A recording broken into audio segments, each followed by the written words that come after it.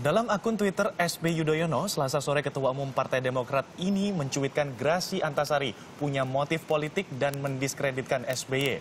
Ayahanda Agus Harimurti Yudhoyono menyatakan keterangan Antasari memfitnahnya untuk memengaruhi gelaran Pilkada 2017. Presiden RI ke-6 ini juga merasa nama baiknya dihancurkan melalui fitnah sejak November 2016.